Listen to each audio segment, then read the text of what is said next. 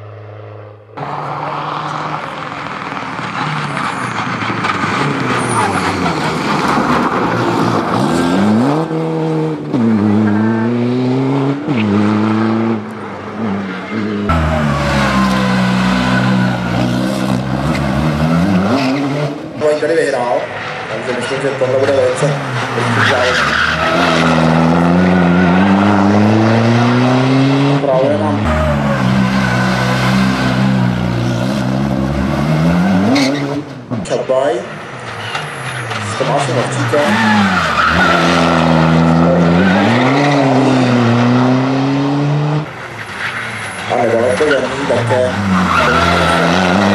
往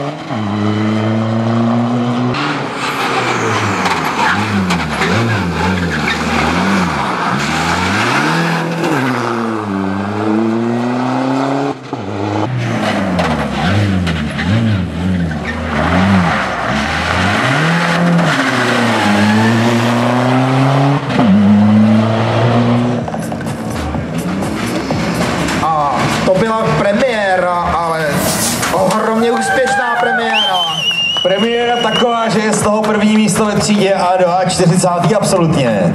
Oni totiž Mirek Čabaj a Tomáš Lovčík jeli úplně poprvé. Tohle auto je Turbo Diesel. Miroslav Čabaj, Tomáš Lovčík předvedli nádherný ko. Gratulujeme k tomu vítězství. My si s nimi samozřejmě musíme prohodit pár slov. mnohem těžší určitě. Jako pro nás eh, to je první závod velký a koukali jsme na to, jak to řekl. A líbilo se vám to? Líbilo moc. Startovní číslo 61, které zveme semka na cílovou rampu.